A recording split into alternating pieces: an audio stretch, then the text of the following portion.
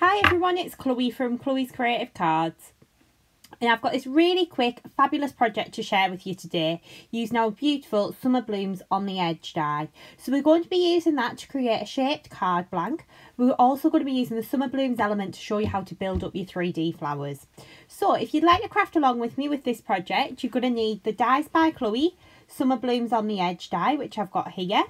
You're also going to need the Summer Blooms Elements die. So this is a big set of flowers that are going to contain different sizes so that you can use for your flower shaping. And I've already gone ahead and die cut some of those out. You're also going to need our beautiful raspberry foiled paper pad. So this is so luxurious. It's got beautiful gold foiling detail on there. And it's fabulous for using for your matting and layering, but also using for your flowers too. You're also going to need some gold mirror card. You're going to need some pink ribbon and a little pink bow. Okay. Some crystals. You're going to be using our Sparkelicious glitters in these gorgeous colours. So we're going to be using Grasshopper, which is a beautiful bright green. And we're also going to be using Pink Champagne, which is a lovely pale pink chunky glitter. We're also going to be using a little bit of heat embossing to do a sentiment. So we're going to be using the Wow Metallic Gold Sparkle Embossing Glitter. We're going to need a clear embossing ink pad. The one that I'm going to use is Wow, the um, embossing pad, clear ultra slow drying. So this is brilliant for holding your embossing powder. It's really going to grab that embossing powder and make it stick. You're going to need a sentiment stamp. I've chosen just for you. This is from the Stamps by Chloe Cele um, Celebrate Sentiments Clear Stamp Collection. And you are also going to need a little bit of white card to stamp that on. I would recommend that you use a um, anti-static bag for when we're embossing and I'll explain that a little bit further into the video. Also going to need some little bling stones. These can be any colour because I'm going to show you how to glitter these up like I have done with these ones here. Okay then, so I think that we are ready to get started. So I'll just move these out of the way and then um, we'll get going. So we're going to do a little bit of die cutting first. You do need a die cutting machine for this project as well. So we're going to take our 5x7 card blank to start with and we're going to use the on the edge die.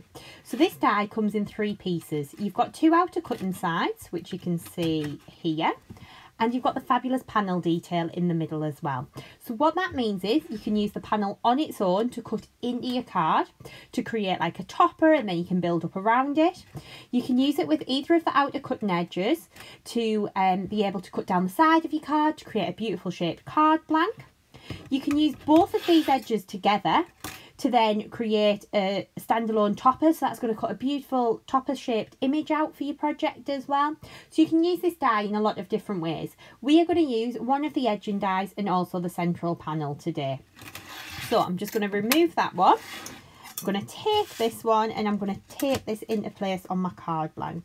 So I'm just lining this up down the side as you can see. So that's my panel die in place and then I'm going to take my edge die and just pop that next to it here like so.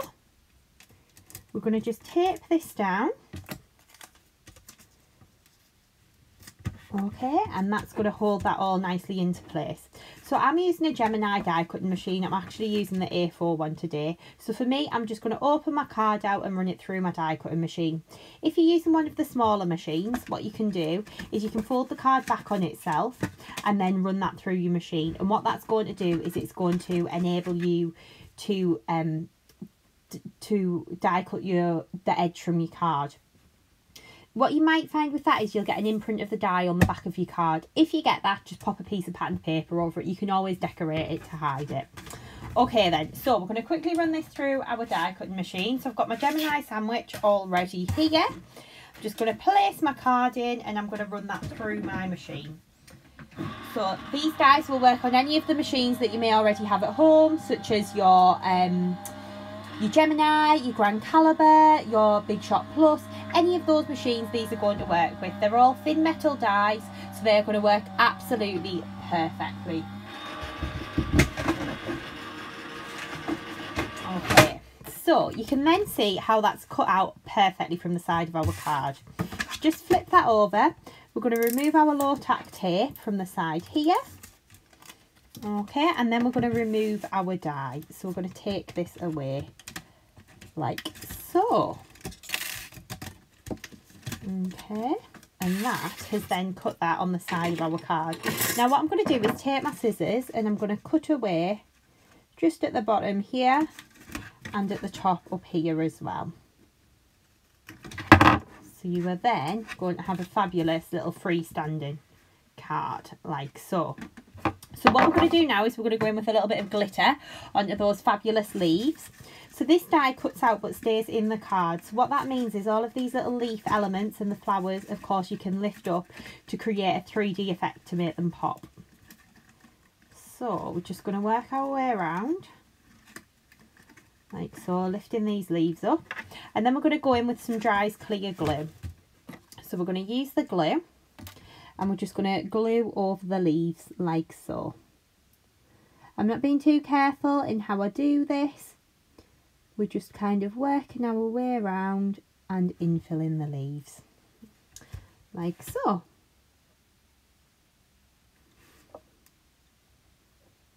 By using this fabulous Dries Clear Glue with the fine tip metal applicator, what that means is it um, allows you to get into all of the detail on the glue on the on the project. So because this glue is coming out really finely from the tip, it's really really easy just to get in there and make sure you've got glue on all of the little detailed areas of your project. So as you can see, we can just work around like so in filling this in with some glue.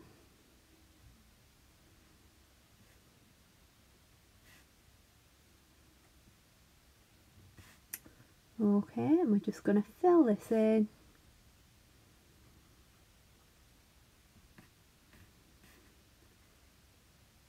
And then we're going to take a little bit of our fabulous Sparkelicious glitter over the top. So the colour that I'm going to be using is Grasshopper, which is one of our beautiful Sparkelicious glitters. What you can do as well is if you've got a piece of paper that you're working on, some scrap paper, give it a little dust with an anti-static bag. And then when you pop your glitter on, it's not going to stick too much to your paper. So I'm going to use a little bit of Grasshopper here. And we're just going to sprinkle this over where we've got the glue. Like so. So you can see how pretty that then looks on the on the detail there. Okay, so I'm going to pop that to one side. I'm going to pop my glue back into the jar.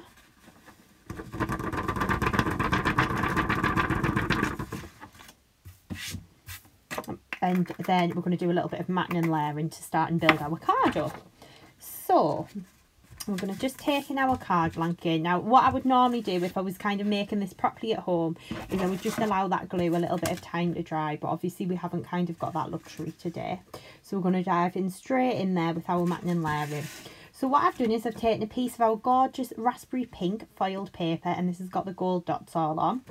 And I've just cut a piece of that down to fit in the inside of my card and I've just cut a piece of gold mirror card as well to mat that onto. I'm going to use my Dries Clear Glue just to stick these together.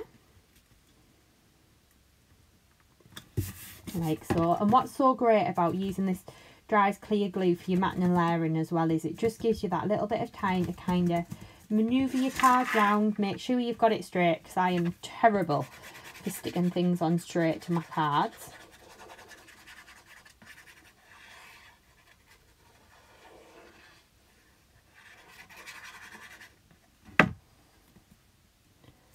Okay, we're going to place that down.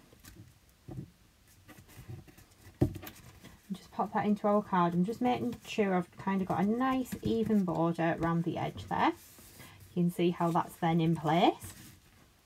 I've then got a little strip of that beautiful paper and a strip of the mirror card that I've cut. And I'm going to stick those together and these are just going to go down the side here. Now what you might find is, and I've found that with this one, you might just need to use your guillotine just to take a tiny little bit off, off the strip. Um, just because obviously depending on where you position your die is very much going to depend on how much of a border that you have. So let me just pop these two together. I'm just a tiny bit more off the pink. This is the thing with crafting, you see. It's all kind of a little bit of trial and error and we all learn as we go along. So those two are going to mat together like so. Okay, then we'll get those stuck our card. So again, we are going to use our Dries Clear Glue just to stick these two pieces together.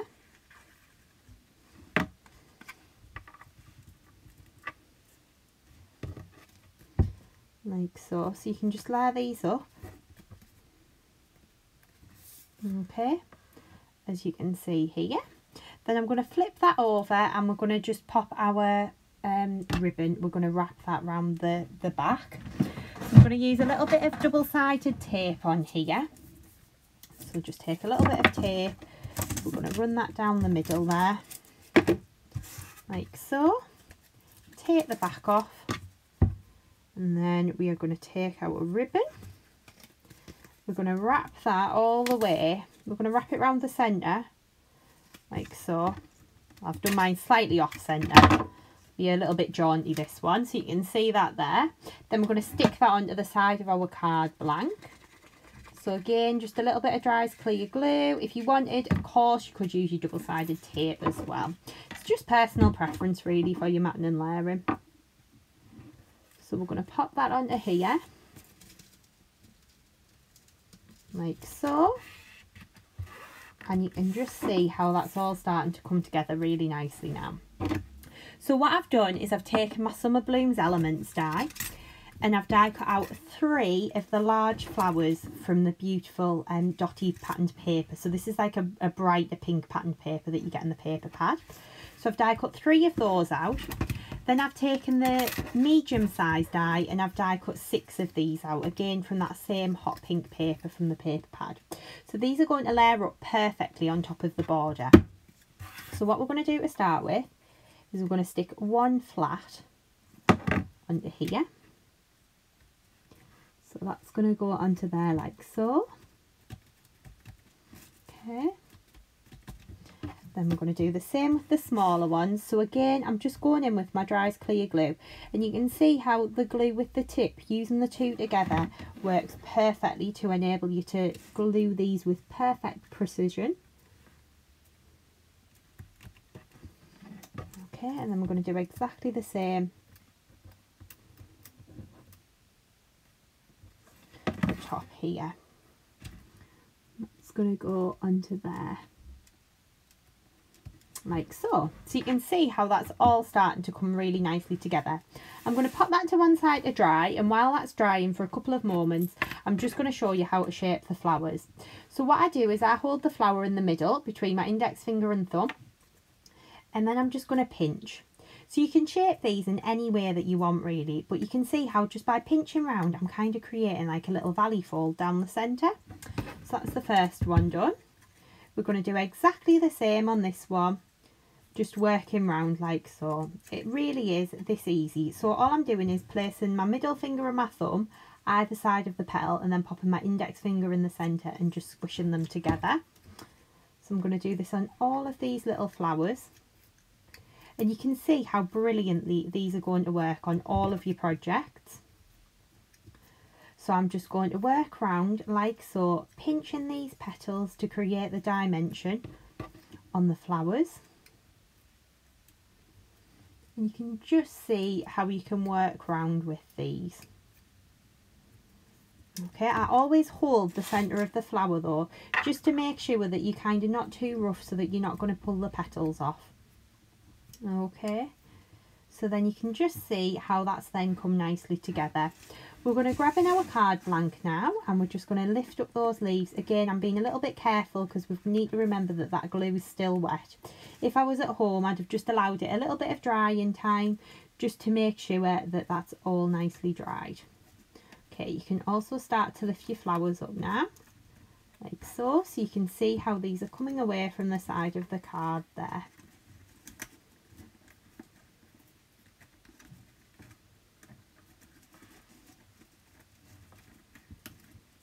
Okay, so you can see how fabulously that then looks. If I just hold that up, you can see how you've got all of that dimension there.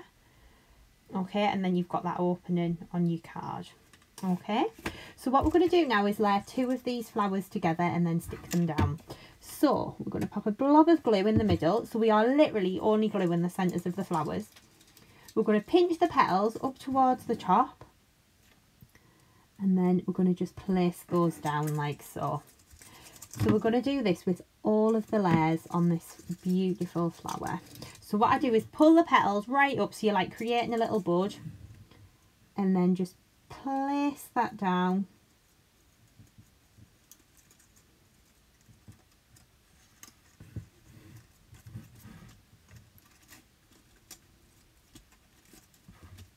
like so. So you can see the depth and the dimension that we are starting to build now on those flowers. But it's so, so easy to do. So we're going to continue on. We're going to do exactly the same with the smaller flowers. Pinch those petals up towards the centre. And then place those down. So you can just see how we are working around and building this beautiful design up. Like so. And then we're going to do the same with these little ones at the top.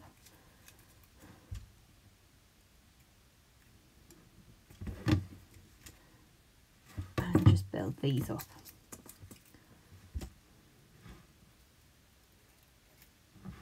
and I'm just going to grab an embossing tool here just to kind of help me squish that down just in the middle okay so you can give that glue a little bit of time just to grab make sure those are nicely pressed down. So if I bring that up now look at the depth and dimension that we've built on those flowers. They look absolutely gorgeous but it's so easy to do. We're not doing any difficult techniques here. It's all really really easy things. Okay, so I want to show you how to create some little glittery centres for your flowers now. So we're going to take a bling stone and mine aren't self-adhesive so basically what I tend to do is just pop them onto glue dots. Um, so I've just taken one. This can be any colour. Mine happened to be pink because believe it or not I had a load of pink ones in my craft room. What you're then going to do is take your dry clear glue and literally just glitter over the top. So we're just pop in this glue directly on top of the bling stone. And then we're going to take that fabulous Sparkelicious glitter. So the colour that we are using is pink champagne. And just let me show you this. It is absolutely divine. Look at all of the colours that you've got in there. It is gorgeous. So then when we sprinkle that over and tap it off, that's going to stick to the little bling storm okay? But when that dries, you're going to get like raised 3D glittery dots, which are what I've already done at home. So if I bring these ones in, these are nice and dry. So we're going to pop these into the middle of the flowers. Okay, so I'm going to just pop this glitter back into the jar. Again, a little shimmy in there. Okay. We're going to just bring our card in and we're going to pop our bling stones into the centres of these flowers. The first one's going in there. The next one into the middle. And the one after that. Oh, my little glue dots come off the back. Let me see if I've got another glue dot somewhere. There we go. And this one. Go into the middle of there. Okay, so if I bring those in, can you see how we've got the bling in the middle of those flowers there now? Okay, it just works so, so well. So what we are now going to do is we're going to stamp and emboss a little sentiment to go on this card. So I've chosen just for you, which is from the Stamps by Chloe Celebrate Sentiment Stamp Collection. I'm then going to take in a piece of white card. I'm going to give that a little dust with an anti-static bag I'm going to grab in my Wow clear embossing ink pad, which is amazing, by the way. It is fabulous um, for all of your embossing techniques. We're going to take our stamp and we're going to ink it up, like so. And then we're going to place that down and press just onto our project here. Okay. I'm going to lift that off. So I don't know whether you'll very faintly be able to see that at home or not we're going to take our embossing powder and sprinkle it over and you can see how that's clung perfectly to the sentiment there. We're going to pop our excess powder straight back into the jar and then we're going to grab in a heat gun to heat this up. I'm just going to give my desk a little dust because I've got glitter and all sorts everywhere so we'll just give that a little dust down before we start heating. So we're going to use our heat gun now. So you're going to hold your heat gun still until you see that powder start to melt and change. So what I'm doing is holding the heat gun and as soon as I see this powder go from like a brownie colour to a beautiful bright sparkling gold, I'm just going to move the heat gun over the image. So what we're doing is we're kind of chasing the powder.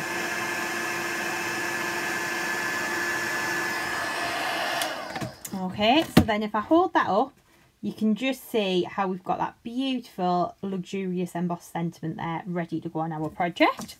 So what we are going to do now is we're going to take our guillotine and we're just going to trim this down. So I'm just going to trim around the edge.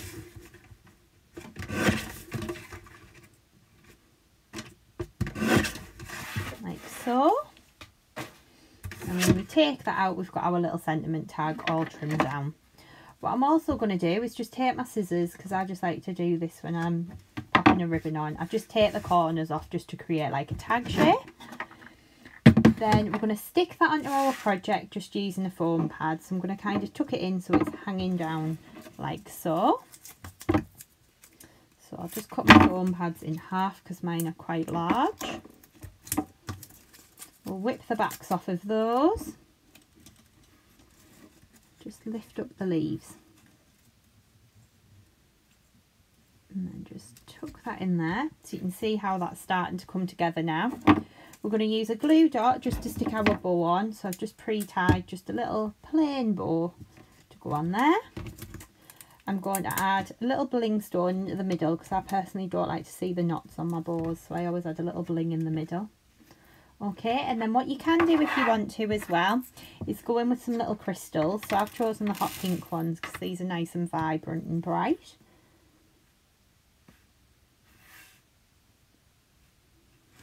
So I'm going to add three dots of blue in the top and bottom corner there. And then I'm just going to go in with my crystals and just add these on. This is just a sticky pickup pencil that I'm using to do this. Um, one of the ladies that comes in the shop actually brought this in for me. but if you haven't got one of these at home, you could use a piece of dried spaghetti. Then if you just dampen the end, it, it'll stick to the jewels. So that would then be your beautiful finished project. So we've created this fabulous on the edge card, but so, so quickly and easily. And you can just see how all of the different elements come together. So I really hope that you've enjoyed today's tutorial. You can of course check out all the products on the website which is www.chloescreativecards.co.uk. We've also got a fabulous blog on there where I'm posting lots of inspiration, step-by-step -step instructions. There is all sorts upon the blog. If you'd like to give us a follow, of course you can do. You can follow us on YouTube. Our channel is Chloe's Creative Cards. You'd like to follow us on Facebook, which is a fabulous place to follow us because we're always posting inspiration on there and we also host lives regularly too. You can hop over to Chloe's Creative Cards and give us a like. And if you're on Instagram, we post daily inspiration on Instagram. So if you would like to have a little look on there, again, it's Chloe's Creative Cards. Really easy to remember. And of course, if you'd like to subscribe to the channel, you can do too. So thank you for joining me today and hopefully I'll see you again very soon.